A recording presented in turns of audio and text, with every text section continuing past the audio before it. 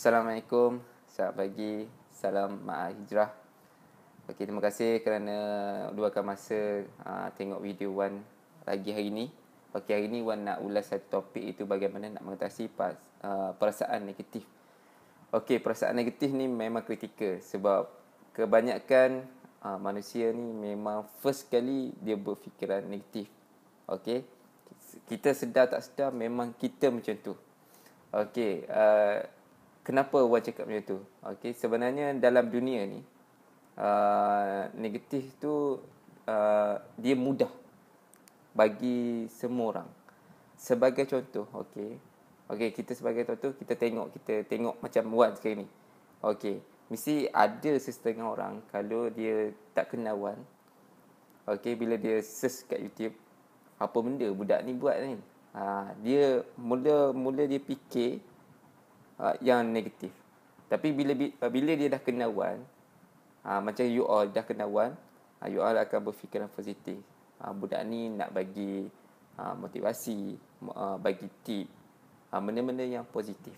Okey. Tapi yang mula-mula yang keluar daripada otak manusia bila dia tengok sesuatu mesti negatif. Ha, tak ramai yang mula-mula pandang tu tengok ha, positif, tak ada. Ha, kuranglah.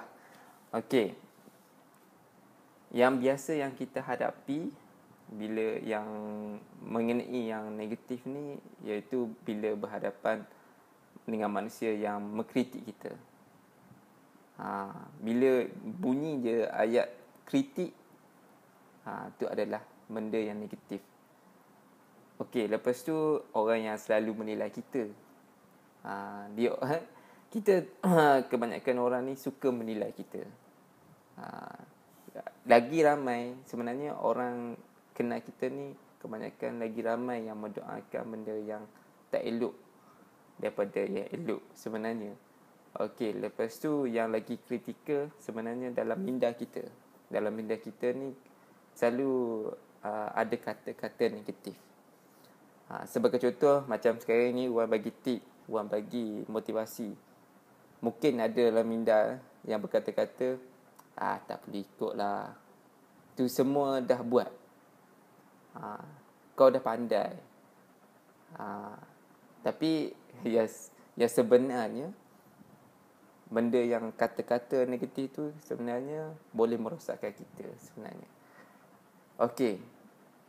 Wan nak bagi empat tip Macam mana kita nak hilangkan perasaan negatif Dalam diri kita Okey yang pertama Okey yang pertama kalau boleh kita tulis ya kita ambil satu buku diari ke buku catatan ke okey kita tulis uh, bahagian negatif dan bahagian positif.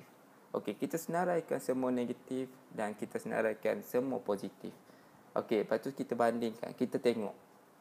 Sebenarnya kalau you all nak tahu Tuhan bagi kita lagi banyak positif daripada negatif tapi negatif ni boleh mengalahkan positif ni. Walaupun negatif ni satu, positif ni sepuluh, dia boleh mengalahkan sepuluh ni. Okey, kuat tak negatif ni? Okey, bila anda tulis, okey, bila tulis uh, yang negatif tu, sebenarnya anda dah buang negatif dalam diri anda. Ha, okey, try cuba. Kalau anda tak percaya, tu Wan amalkan benda yang bila kita tulis negatif, kita tengok balik oh ni negatif yang aku fikir. Bila kita keluar dia tak ada dalam kepala. Yang kata-kata tu hilang. Okey? Okey yang kedua ubah diri anda. Sebagai contoh kalau kita tengah stres kita tengah negatif kita duduk. Okey ataupun kita bila kita tengah stres kita buat something yang boleh buat kita tak stres sebagai contoh kalau kita minat tengok music ha, kita tengok. Bila kita kita stres tu kita tengok. Kita kena lupakan benda yang negatif yang ada dalam fikiran kita. Ubah diri. Macam kedudukan kita duduk kalau macam orang yang stres orang rayu ha, aku pening. Okey apa kata kita duduk keadaan yang um, meyakinkan? Ha, dan kita tengok benda yang kita suka. Insyaallah uh, negatif tu akan hilang okey yang ketiga kita boleh bantu orang. Okey, sebagai contoh kalau kita tengok orang tu dalam keadaan negatif sebagai contoh dia ada masalah apa semua kan. Cuba kita pergi tanya. Sebenarnya dengan cara itu, dengan cara yang kita pergi tanya tu, sebenarnya boleh menolong kita juga. Sebagai contoh member kita ada masalah dalam keadaan negatif, dia marah-marah-marah. Kita pergi tanya dia ah, kenapa boleh uh, kenapa duk marah-marah kan. Bila dia cerita, sebenarnya boleh buat jadi kita pengalaman bagi kita. Ha, mungkin dia ada masalah ha, apa dengan isteri dia ke, dengan suami dia ke, kan, dengan kawan-kawan dia ke, takut dia ada masalah-masalah kewangan, mana tahu kan. Ha, kalau dia ada masalah kewangan, ajak dia jual produk CNH.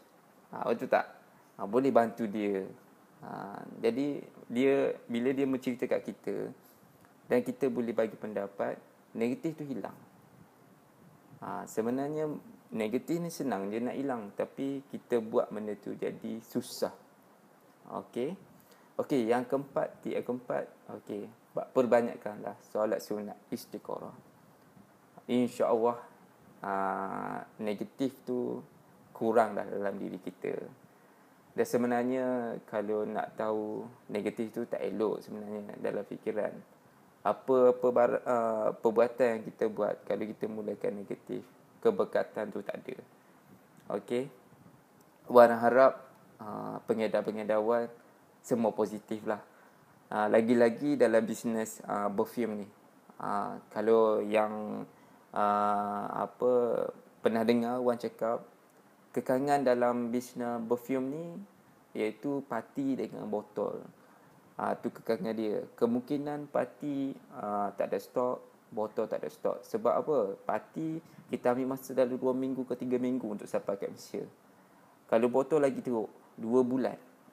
Uh, kalau macam contohlah sekarang ni supplier yang first kita ambil. Dia sebab supplier kita ambil ni dalam Malaysia ni dia nombor satu mana kata kalau dia uh, habis stok kita tak dapat. Mana kita kena tunggu stok.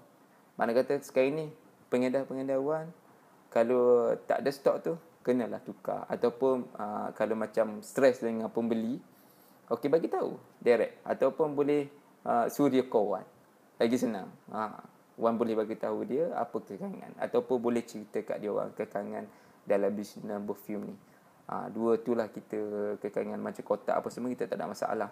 Cuma parti dengan botol. Okey. Kesimpulan uh, ni tambahan lah. Tambahan daripada Wan. Okey yang yang paling uh, nak hilangkan posit, uh, apa negatif ni kalau boleh berkawan dengan orang yang positif yang kuat positif. Uh, kira, bila kita berkawan dengan orang yang kuat positif ni dia automatik kita akan jadi orang yang positif sebagai contoh macam kita nak berjaya lah kalau kita berkawan dengan orang yang tak berjaya confirm-confirm kita tak berjaya. Tapi kalau kita berkawan dengan orang berjaya, insya-Allah kita akan berjaya.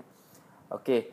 Itu sahaja uh, yang Wan boleh sampaikan untuk hari ini. Topik kita macam mana bagaimana nak mengatasi masalah uh, uh, perasaan negatif dalam diri kita. Insya-Allah kalau macam you all buat dan amalkan apa yang Wan cakap tu, insyaallah kita duduk uh, kita berada dalam keadaan positif. Dan orang cakap kalau kita mati dalam keadaan positif pun lagi elok daripada kita duduk uh, kita mati dalam keadaan negatif. Okey terima kasih.